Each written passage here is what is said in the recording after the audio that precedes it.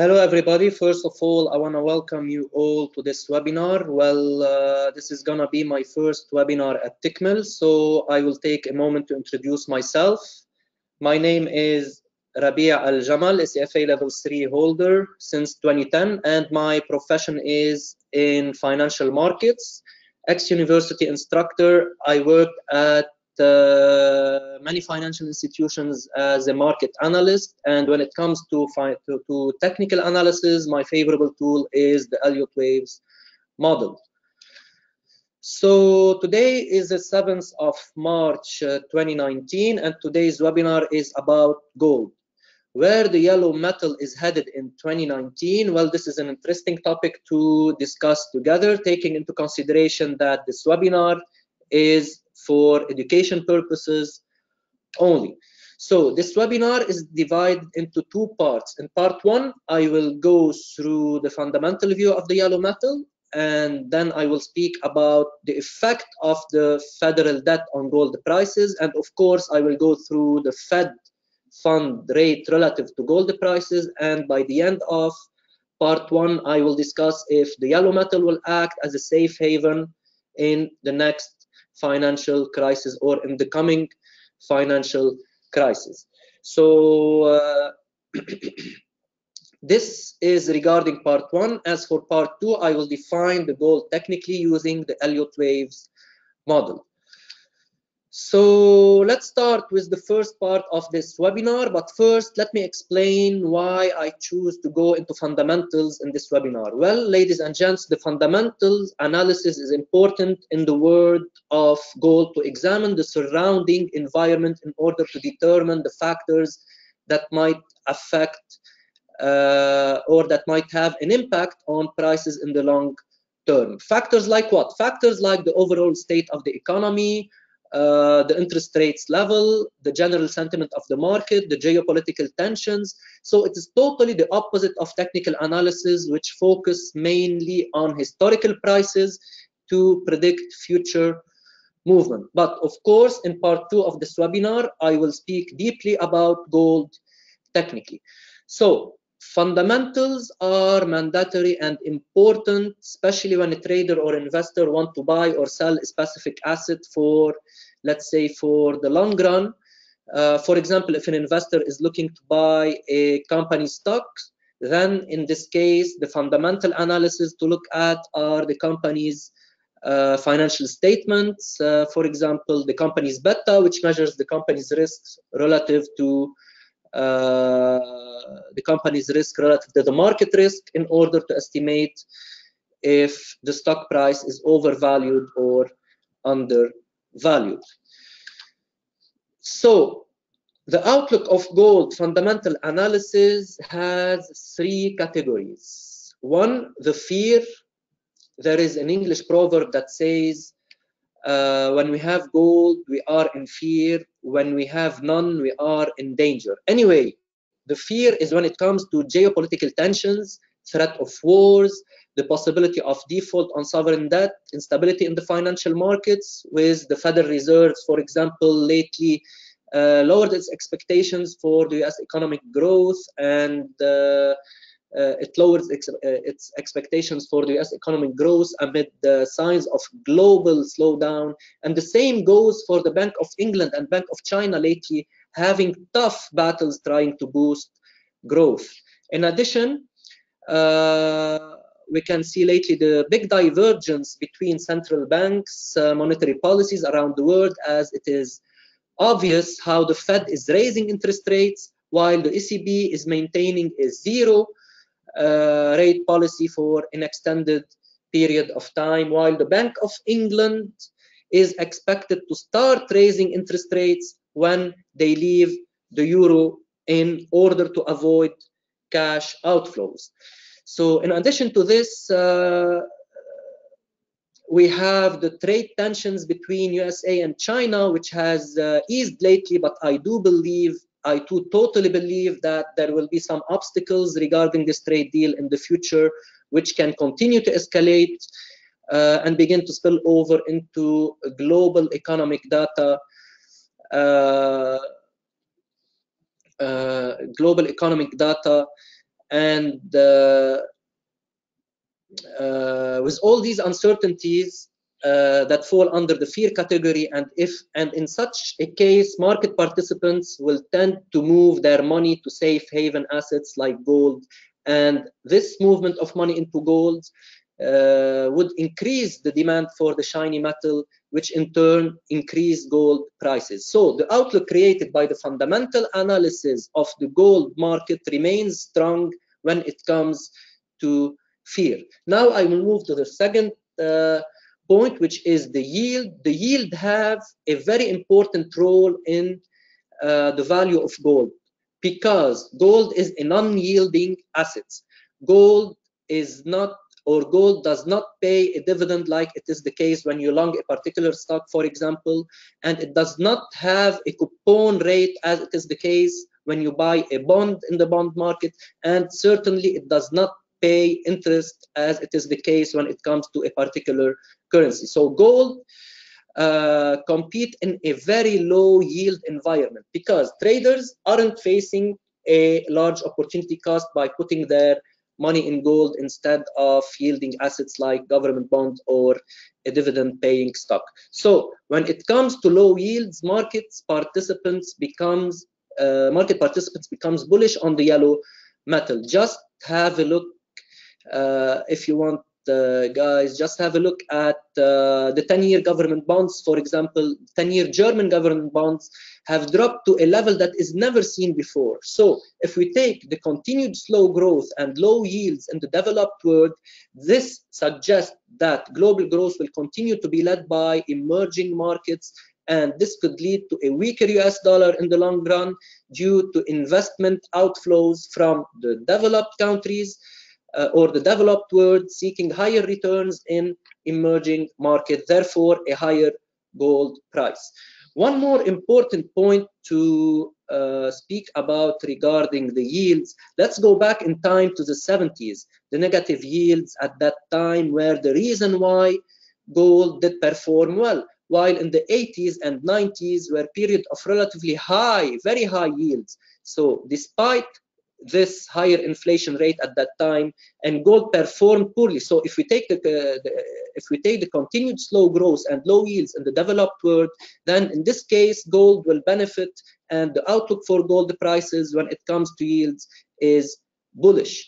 So now let's move to the third point in uh, this uh, webinar, the supply and demand. Well, I'm not gonna go into deep details regarding supplies and demand, but obviously the demand for gold is driven by both consumers uh, and uh, consumers, especially from India and China, and by uh, traders who uh, who play a very important role in gold demands when they buy exchange traded funds like S like the SPDR, the Spider Gold Trust, because the, this fund itself uh, physical gold in proportion to the amount of assets the funds has under management.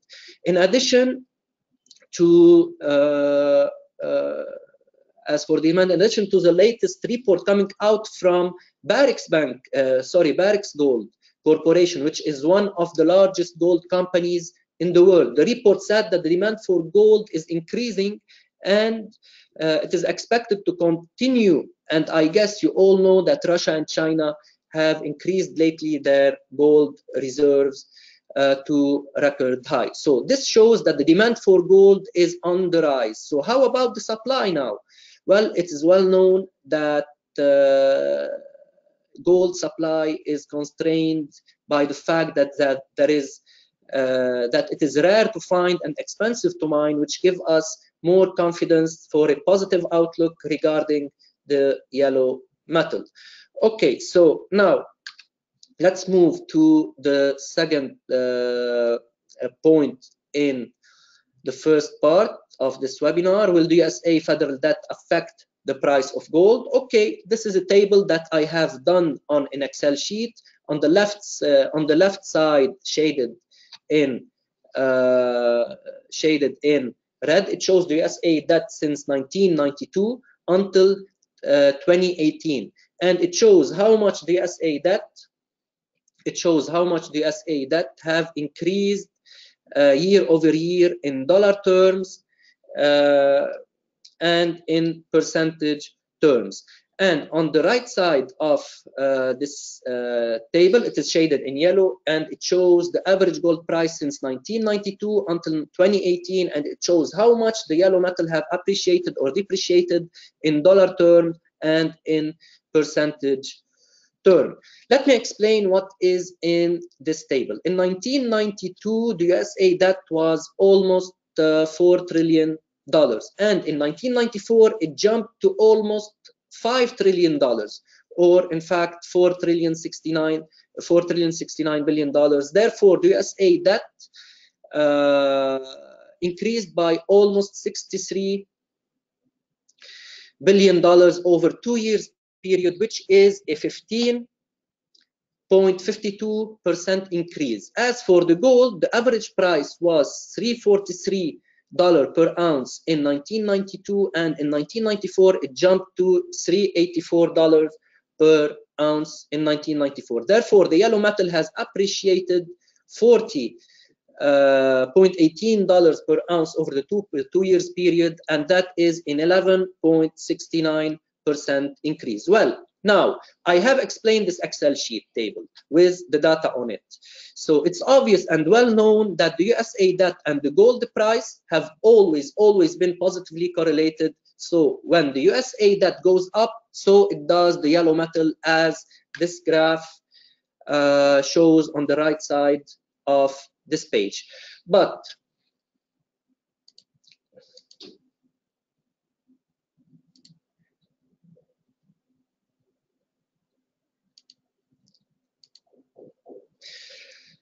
But since 2011, we have seen a divergence uh, from the positive correlation that we have witnessed since decades as gold prices fell to uh, $1,300 per ounce after hitting 19 $20 per ounce in September 2011. As for the US debt, it kept rising. And I personally believe that this divergence that occurred, that have occurred in 2013 uh, happened when the Fed uh, planned the third quantitative easing program in September 2012. So the world started to drop gold and buy companies' stocks. So the strong correlation between the rising US debt and gold broke down uh, uh, in that time. So Currently, the US debt is over 22 trillion dollars. I believe that the trade war, I personally believe that the trade war that President Trump has started with China and Europe is just a way to close the fiscal deficit since the USA is in really big troubles and at the end of the day they have to pay back this debt or to keep interest rates high so their treasury securities and treasury bonds stay attractive to investor and keeping interest rates high would cause a big damage to US corporations since they have to borrow at a higher interest rates and refinancing at even a higher uh, interest rate or at a higher rate as well. So due to this historical positive correlation between gold prices and USA debt, and regardless if the USA is going to pay the debt or it is unlikely to pay it since creditors still have confidence in the US economy and the US dollar uh, is still and remains the reserve currency in the world. And regardless if the con Congress is going to increase the debt ceiling to a new uh, level, I believe that gold price is undervalued since 2013 and the USA federal debt will always gonna be a support for gold prices in the long run even if interest rate remains high since uh, with all the rates hike uh, still the yellow metal failed to break the low of year 2015 when the gold made a bottom at 1040 dollars per ounce. So what uh, by the way what caught my attention in this table is that gold dropped 24% in year 1997 and 1998 and this drop was followed by a huge increase in gold prices and the same scenario happened again in year 2013 and 2014 where gold prices also dropped 24% so the question is will the yellow metal witness a similar scenario as it happened almost 21 years ago? Well, it's about time. Now I will move to the effect of the Fed fund rates on gold uh, prices. Okay, for now, at the beginning of this webinar, I, I explained uh, the fundamental view of the yellow metal. I did explain uh, what drives the yellow metal.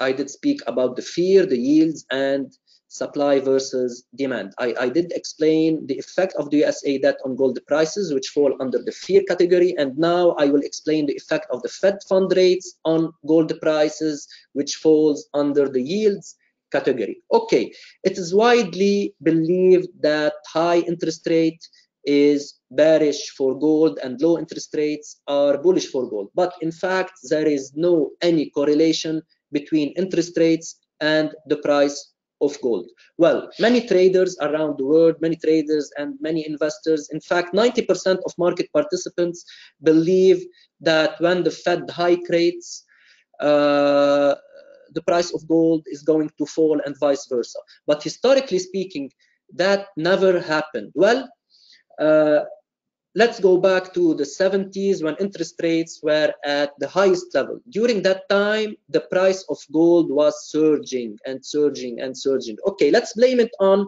the geopolitical tension in that time since the Soviet Union were invading Afghanistan. Okay, I agree with it. In addition to the revolution of uh, in Iran. So let's move forward to 1980 then, when interest rates were at 15% and over the same period of time, the price of gold surged to almost $800 per ounce. Anyway, let's forget about the past and let's have a look at this chart in front of us. This is a chart that shows the gold price relative to the Fed fund rate. The blue line over here represent the Fed fund rates while the candles on this chart represent the gold price. Okay, ladies and gentlemen, as you can see on this chart, the Fed fund rate were near 0% from uh, 2009 until September uh, 2012. And in that time, the gold price made a record uh, high at 19 uh, $20 per ounce. Then the yellow metal entered a bear market in 2013 until December 15, while interest rates were still at 0% in the same period of time. So the interest, interest rate hikes, uh, so, so uh, uh, the interest rate were at zero level and the gold was uh, rising and falling regardless uh, the level of interest rate. The gold made a bottom on December 2015, the gold made a bottom on December 2015 at uh, $1045 per ounce, and a month later, the Fed, the Fed fund rates is hiked for the first time since 20, 2009. So seven after seven years, the Fed did raise the interest rate uh, by 0.25 basis points, and the gold price did not fall. Instead, we did see the price of gold surging. And now the Fed fund rate is at 2.5% and the gold failed to break the December low. So this proved that the Fed rates has nothing to do with gold prices. So the theory that says high rates is bearish for gold and low rates is bullish for gold is useless. The golden formula is that the low yields are bullish for gold and high yields are bearish for gold, as I said earlier. So, uh, will the gold act as a safe haven asset in the next financial crisis? This is an important question to speak about and to explain at the moment.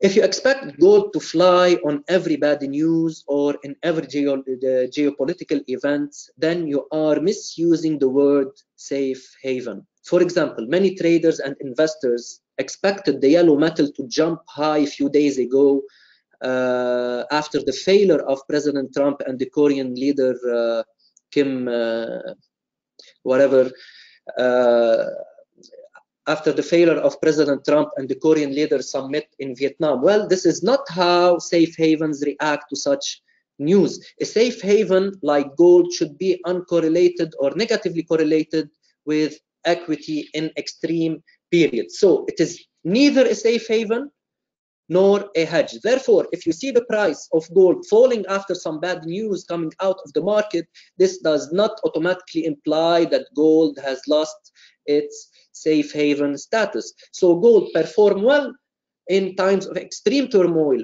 but uh, of course not at all times or over a long period of time. So it provides shelter at the beginning of a severe crisis or turmoil, and as long as this shelter is needed, but not forever, because bad news comes out of the market every second and every moment. For example, the price of gold, let me give you an example.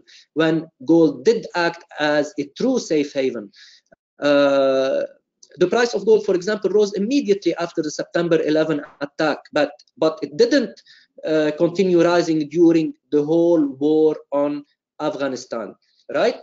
So, uh, one more example, the same scenario happened during the collapse of Lehman Brothers in 28. The gold did rise for three to four days, but it, it won't rise forever. So guys, you should take into consideration that gold is not the only safe haven on earth as well, because the US dollar has been shown to appreciate in periods of crisis, and the same goes for the Swiss franc and the Japanese yen, in addition to government bonds and treasuries. So here comes the risk of the gold as a safe haven, because the US dollar and US treasuries often outperform gold in risk of events. And that is the only risk that I personally can see reducing the gold uh, of shining during uh, any coming financial crisis. So yes, the gold is still a safe haven and will always act a safe, uh, as a safe haven as long as there are no alternatives. Just have a look at the stock indices worldwide, it's obvious how stocks are uh, are at all-time high, while while uh, gold is still maintaining December 2015 low. So guys, here we are done with the first part of this webinar with a bullish fundamental view regarding gold. Now let's move to the second part where I will be analyzing the gold technically using the Elliott waves uh, techniques and try to find out where the gold could be heading in 2019. In fact, until the last economic quarter of 2019. Well, some of you might uh, not be familiar with the, the waves principles and waves technique. So now I will show you the big figure and tell you where do I see the gold heading in the long run by the end of 2019, uh, probably until the last economic quarter of uh, 2019 until March 2020. But first, why did I choose the Elliott waves technique to analyze the yellow metal in this webinar?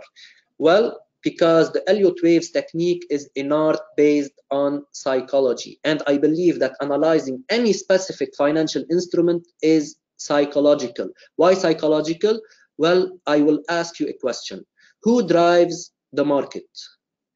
Those who drives the market are traders, investors, banks, hedge funds, and so on. So conclusion, the market is driven by human and the human mood while trading turns from uh, pessimism to optimism and vice versa, creating patterns on uh, a specific chart. And these patterns are identifiable in nature. So let's move to the chart and have a look at the, at, at the latest patterns. Obviously, uh,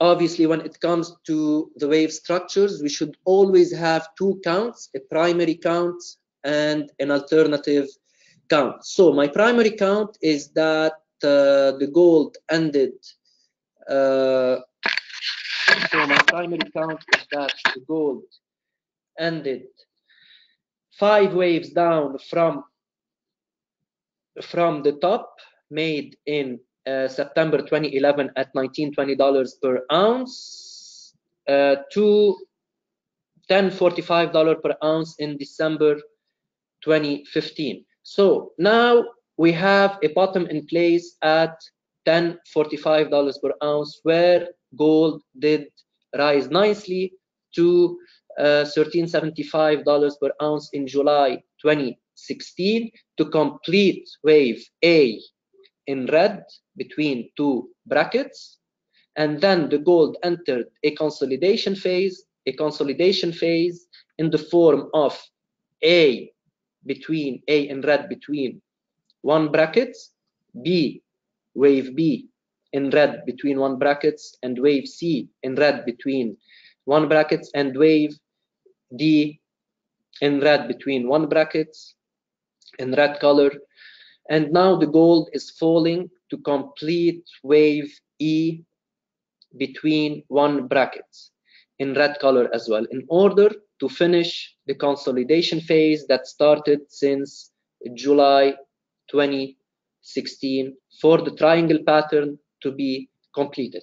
So now we are in leg E where the gold price is expected to find a bottom around uh, $1,230 per ounce to $1,240 per ounce in order to complete wave B in red between two brackets, which, which is gonna be the late, uh, the last wave down before breaking higher outside the triangle for wave uh, C up in red between two uh, brackets around 15 20 dollars per ounce by the end of 2015 so this is my uh, first count. This is my primary count, my preferable counting scenario.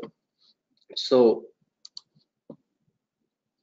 five waves down from the top to 10 45 dollars per ounce uh, in december 2015 then we are in a corrective phase and it's clear that these movements is uh, are corrective here we are done with wave A in July uh, 2016. Then we have this triangle pattern, wave A, B, C, and D. And now the gold is falling and will fall to around $1240 per ounce to $1230 per ounce to complete wave E. Then technically I believe that the gold would break higher to complete wave C. Around 15 $20 per ounce by the end of uh, 2019. My alternative count suggests that five.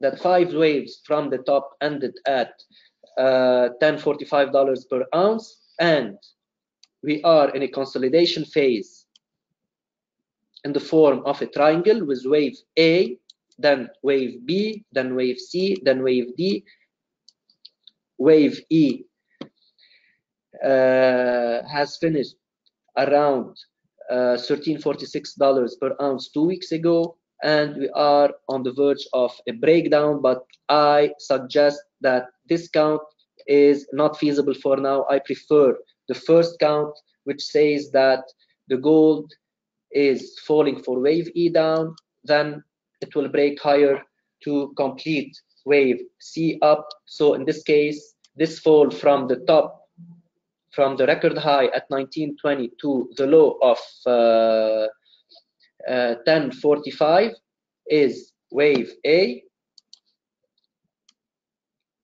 is wave A between three brackets and this consolidation phase will bring gold higher into to complete wave B.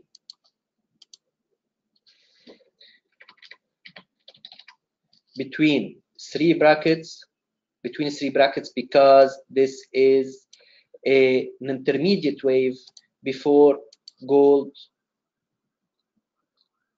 start to fall again. So my my view for uh, my technical view for the yellow metal in 2019 is that this consolidation phase would end soon and a break up higher is expected in the coming month until March uh, or February uh, until the last quarter of 2019 to February of 2020.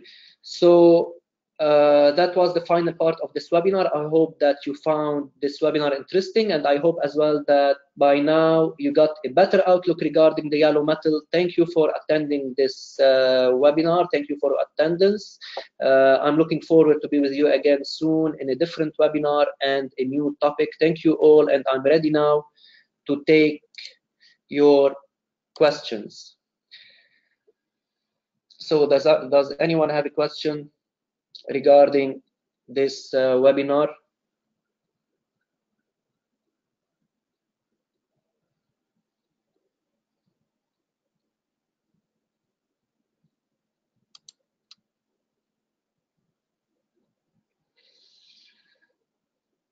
Any question regarding gold price, technically or fundamentally?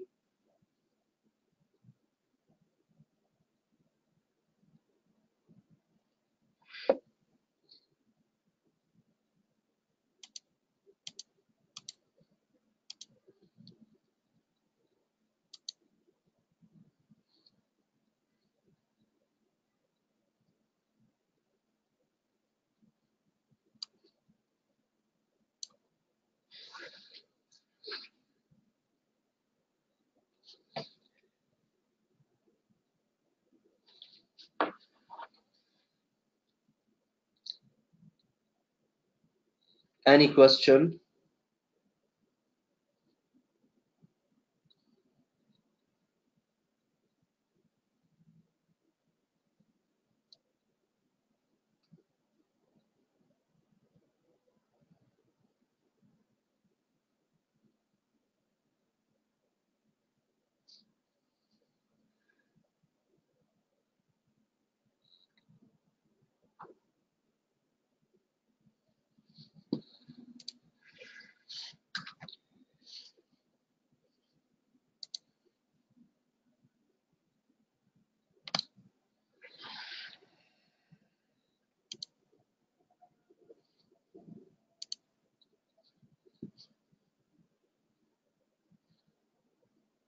Okay, it seems that there are no questions. Thank you for attending this webinar.